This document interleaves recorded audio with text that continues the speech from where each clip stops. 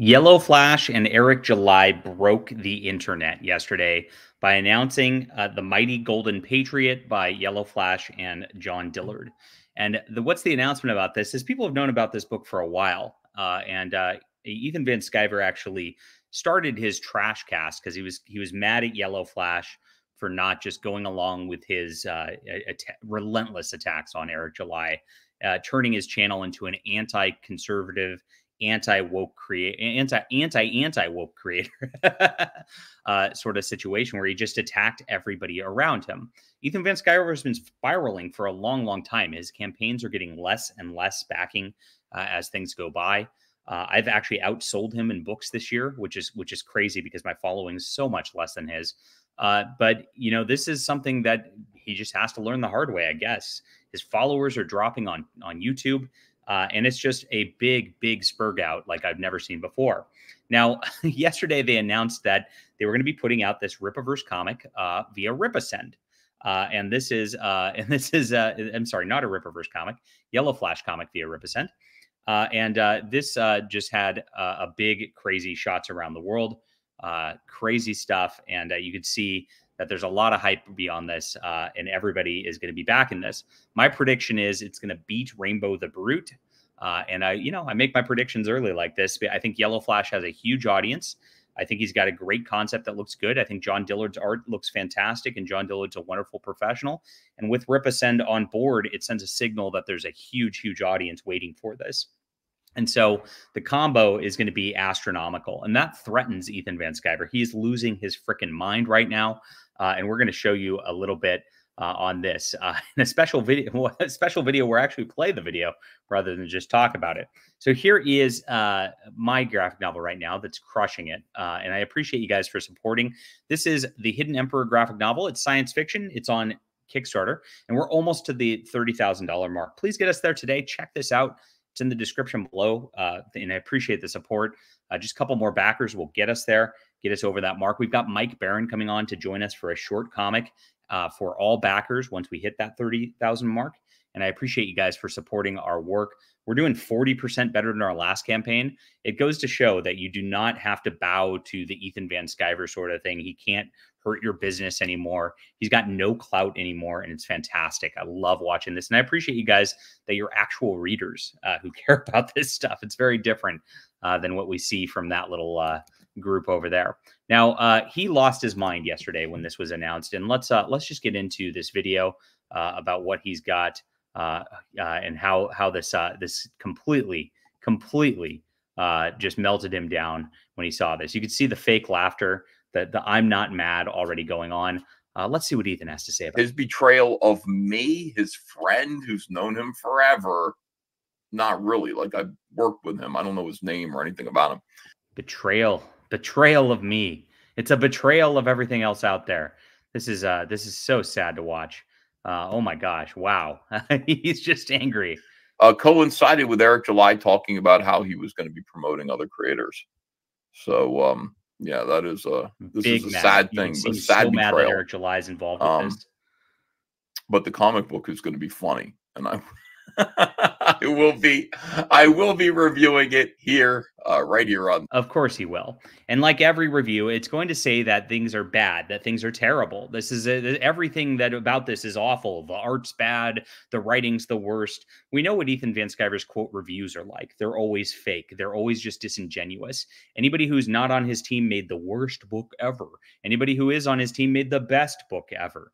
Uh, he's uh, he's at the point where you just can't trust him about anything, which is really really sad because he used to do some pretty good breakdowns of Marvel and DC comics back in the day. Uh, but unfortunately, he's let his derangement of Eric July just color everything he's touched uh, for the last six months. He just goes absolutely off the wall and ape shit every single time Eric July has another success. And it's really, really sad to watch. I've never seen a spiral like this in the history of anything, except for maybe a boy Zack, who's in a pretty bad spiral himself. I think you, Ethan Van Sciver's gotten to the point, uh, just seeing all the comments, people are sick of him fighting everybody, sick of him just torching everybody in the in the deals.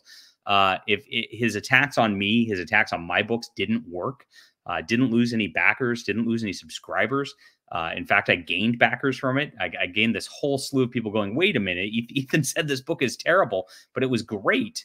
Uh, and uh, anybody who actually backed it and read it, like, has had the same uh, response. And he was talking about my Deus Vult.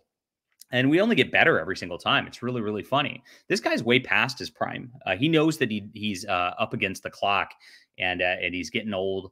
And there's no way he's going to be doing his best work anymore. His best work was do, was done when he when he was my age, uh, and we're still uh, going to be just cranking things out that are amazing. Now, of course, Eric July is the worst writer ever. And if you notice, then Chuck Dixon did Alpha Core. Chuck Dixon is somehow the worst writer ever.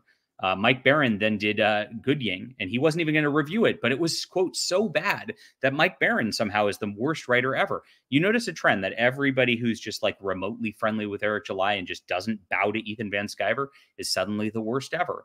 And now he goes into this video, and, uh, you know, I'm playing it. I, th- I, think the volume might be a little soft on this, uh, so I apologize for that, but I, I, did the best I could based on this clip.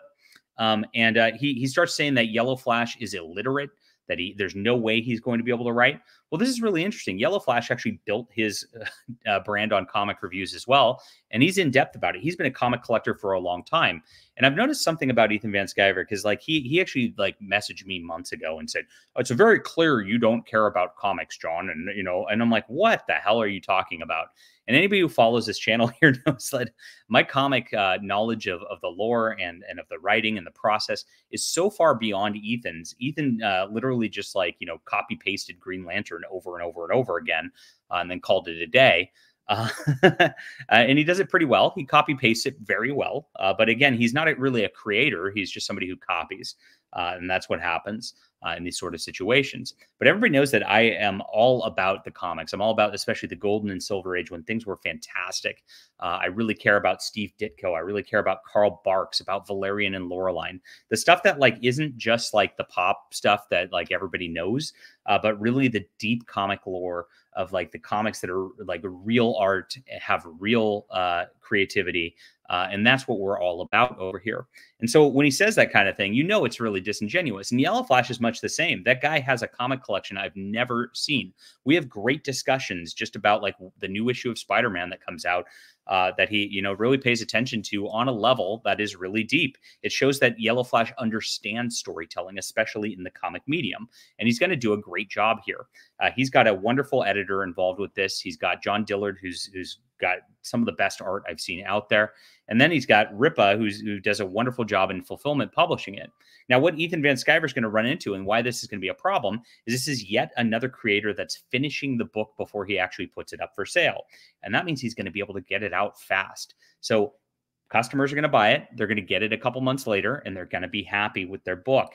Now, Ethan really, really hates that beyond anything else. If you notice the people he attacks the hardest, Eric, me, uh, you know, uh, that those are the people that actually deliver comics quality and on a timely basis. Because his whole narrative to people is, I have to take three years to draw 48 pages in order for it to be such a high quality for you uh, which is nonsense. He's not drawing. You could see this. He's just live streaming and shitting on everybody on the internet all day. And that's his entire business model at this point. He's not working on things at all. And it's not like Rainbow the Brute is like some sort of like wonderful concept. It's it's just kind of dumb, Ethan. Uh, and it's okay to have kind of dumb. But uh, I, I like kind of dumb stuff sometimes. It's fun. It's it's okay. But three years doesn't really work out. You need to crank that stuff out pretty quick. Uh, that's what pulp speed is. And that's why we're going to be running circles around these guys. So this spiral right here to attacking Yellow Flash just because he teamed up with Eric July, you can just see how mad he is. You can see him seething. You can see how he's just like, my enemies are going to make more money than me, and I can't even stand it.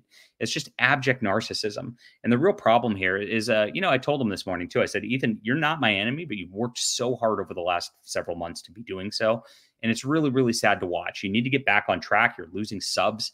Uh, you're losing your backer base. You've less, left, lost your comic audience, all for like these people who send super chats. I've never seen somebody like work harder at not working, just getting your comic books out uh, to make things a little happier for everybody in the whole scene surrounding you. Because when you don't do things and you don't get things out on time, it actually hurts other indie creators way more than you know when you try to slap them down or whatever. Nobody cares about that anymore. But what hurts them is the fact that you're not getting it out, and that money's invested into your books people think twice about investing into crowd funds and that's the harm that you're doing to everybody in these circles. You've really got a giant weight on everybody's shoulders at this point and it's not helping anybody especially yourself. Now gosh i would love for us all to stand as one conservative movement one group who's out there to fight the culture war to really take on marvel and dc and to do this. That's the entire goal here. That's what we want out of our uh, comic book movement our comic book uh, uh, sort of uh, uh, renaissance here and uh, I, I pray that that can happen someday. Ethan, just knock it off. This is no good. Attacking me, attacking Eric July, attacking Yellow Flash relentlessly is just hurting you, is what's going on. This is an intervention. All right, leave a comment down below with what you think about this. Crazy, crazy going at Yellow Flash. Hit the like and subscribe button. Make sure to hit the Hidden Emperor right here on, uh, whoops, that's the wrong button. Uh, grab the Hidden Emperor right here on Kickstarter. Uh, and uh, I appreciate you guys for supporting our work and getting us uh, to this $30,000 goal. Hopefully, we'll be able to do a stream on this tomorrow and, and talk about the Mike Baron comic. I appreciate you for being there. You're great customers, you're great people. We'll be back soon.